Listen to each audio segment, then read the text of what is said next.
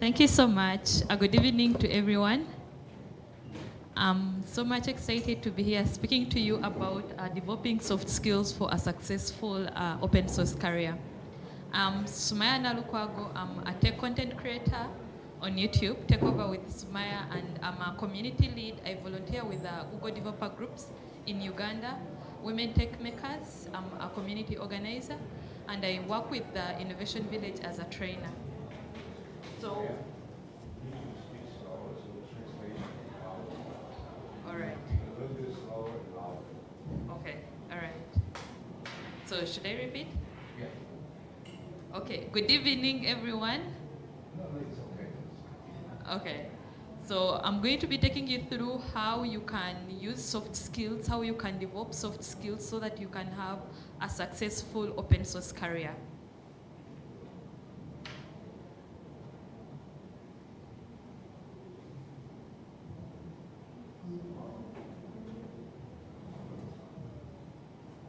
Okay, soft skills are those skills that you can transfer from one profession to another.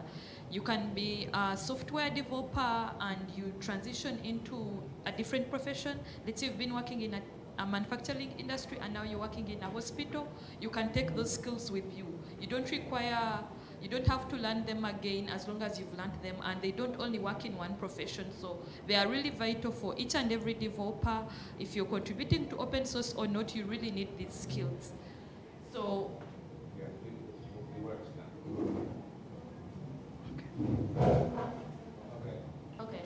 so we are going to look at the power of soft skills in open source and we are going to look at how you can actually craft and uh, make good communication in your soft in your open source career. We're going to look at how you can build trust and work on team on work together in open source. You collaborate with different people. We're going to see how you can leverage your network for growth and visibility as an open source contributor, and we're going to look at how you can actually build a rewarding open source career.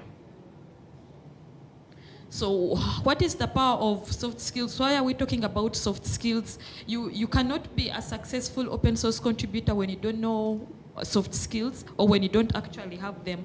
So if you want to be good in open source contribution, you have to really learn the soft skills. And these soft skills are not just collaboration, there is communication, there is time management, uh, there is um, there are very many, but you have to learn them and learn how you can actually incorporate them in your day-to-day life. So one thing I want to tell you is open source is not all about coding. You need these skills so that you can have a successful open source career. You need to learn how you can collaborate with people, work in teams, how you can communicate, not only verbally, but also written communication. How are you speaking to your, to your team members? How are you responding to whatever they are sending you? Uh, are you keeping time or you're the person that is making the team lag behind because you don't deliver work on time? So these are the soft skills that we actually need to work on. Uh, one thing you have to know is that soft skills are like the, the bridge that, that combine your technical skills and what you have to offer. If you're a good software developer, you know different frameworks, you know different languages, but if you don't know how to communicate what you're actually working on, then it will be as good as nothing, right? So you need to learn how you can actually communicate so that you can talk to a client about the project that you're working on. You need to learn how you can um, manage time. Let's say you're going to present to a client. How are you going to, will you go there late or you're, supposed to go there early? So those are some of the things that you have to work on. Uh, effective communication is one of the vital soft skills that we have to work on because it gives us a clear understanding of the projects that you're working on and the person that you're actually working on the project for. Then collaboration is also one of the soft skills because it builds trust. Not only trust, but if you know that you're working in a team, then it will make work easy because you will divide a task uh, between very many people and work will easily get done. Then collaboration also resolves conflicts and uh, it leverages on diverse perspectives. So now in collaboration, uh, you, you get to work with people from different backgrounds. If I'm a product designer, I'm going to work with a product manager, a software developer, uh, uh, someone doing QA, and trust me, I'm going to be working with a range of people and it will boost creativity among the team members. So building a network increases visibility and opens doors to new opportunities. If you if you're good at soft skills, if you've mastered your soft skills, you'll be able to build a network. And by building a network, you'll gain more visibility. Trust me, it's easy for you to shine and become successful when you're working as a team. But if you're working as alone, it will definitely be hard for you to, to shine. So here is how you can um, craft clear communication for seamless collaboration. Yes, we are working on different projects. How can we uh, make sure that the people we are writing for clearly understand what we are trying to document? So first, make sure that your, your documentation for any project is very clear and understandable. Uh, you can choose to have it in different languages so that you cater for all types of people. If it's, um, if it's like, um, if it's like something about a, a, certain project that you're working on, try as much as you can to make sure maybe there is a voice recording for the documentation and there is also the written so that you can cater for someone who might not read but they can actually listen. Then structure information logically with clear headings so that people can easily identify the headings and the rest of the body part in the documentation. Use code examples because uh, using examples generally makes it easy for someone to understand. But if you don't include examples, it will definitely be hard to understand the documentation. And if visuals are necessary, try as much as you can to include them because visuals are kind of appealing to whoever is always trying to read. Then uh, try as much as you can to create informative presentations. Uh, then focus on the key takeaways. If you're documenting a project, focus on the vital things that you want someone to, to take note of. Um, you can as well use visuals again to complement your messages and um, always practice your delivery for clarity and conciseness. Then try as much as you can to have well-structured code comments. I know comments sometimes can be long, but try as much as you can to have them well-structured and explain the purpose of the project that you're working on. If I visited your GitHub and I, maybe I don't have a lot of time or I don't have experience, I should be able to understand whatever you're working on in, through your documentation. I should be able to read and easily understand the reason as to why you're working on that project, its impact, and how it will benefit the community.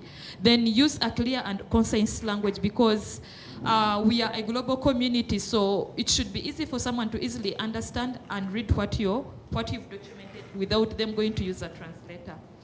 Then um, follow project specific commenting guidelines. I know different projects have different guidelines, so try as much as you can to follow them.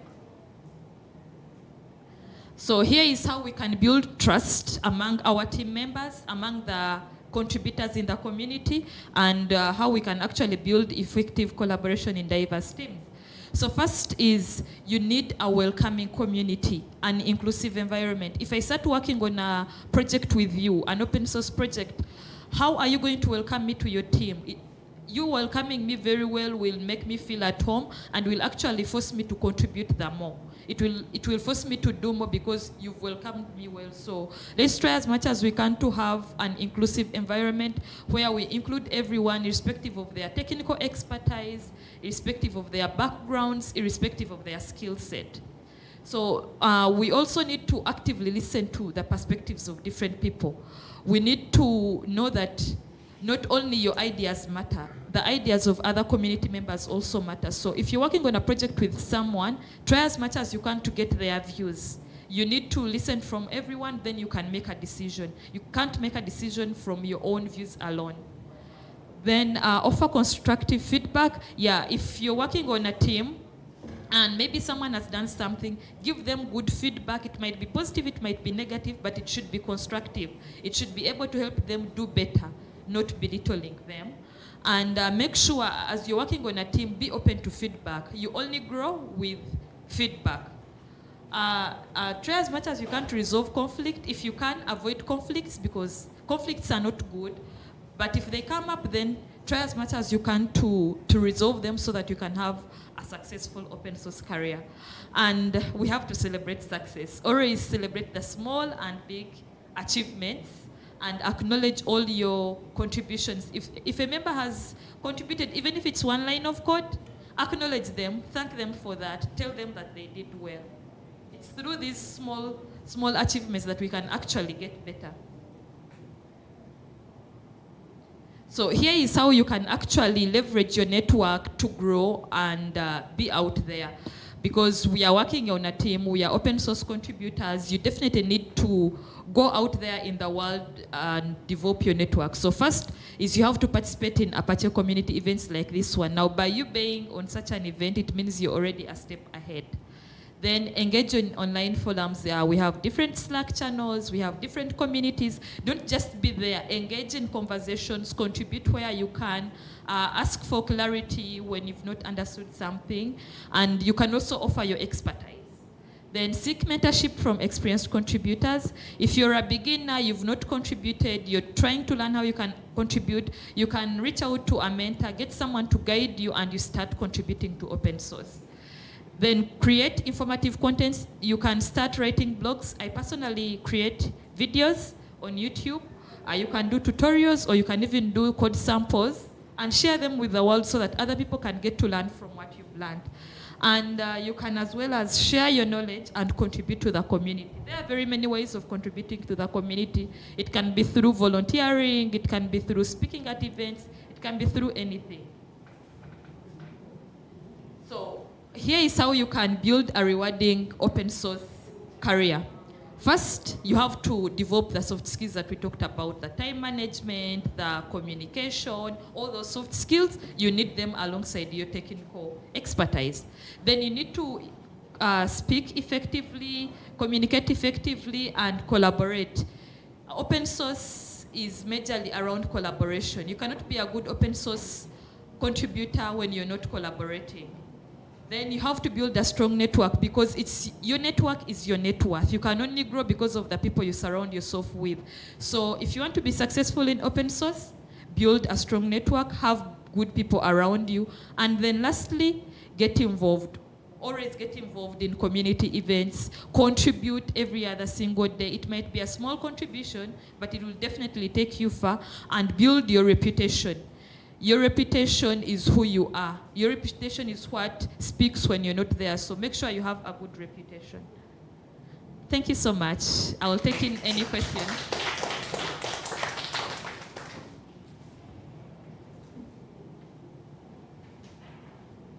啊，我们现在那个因为啊会议的安排原因哈，呃，苏玛雅他有紧接着还有另外一个演讲，然后是紧接的，呃，这个不是 continue presentation for the next topic by Sumaiya. You may go ahead. 就是举呃，大家有对刚刚这个演讲有任何问题吗？Any uh, questions you want to raise? So you're going to continue for this one, right? Okay. Okay. You, you may want to take a short break if you want. Okay. To.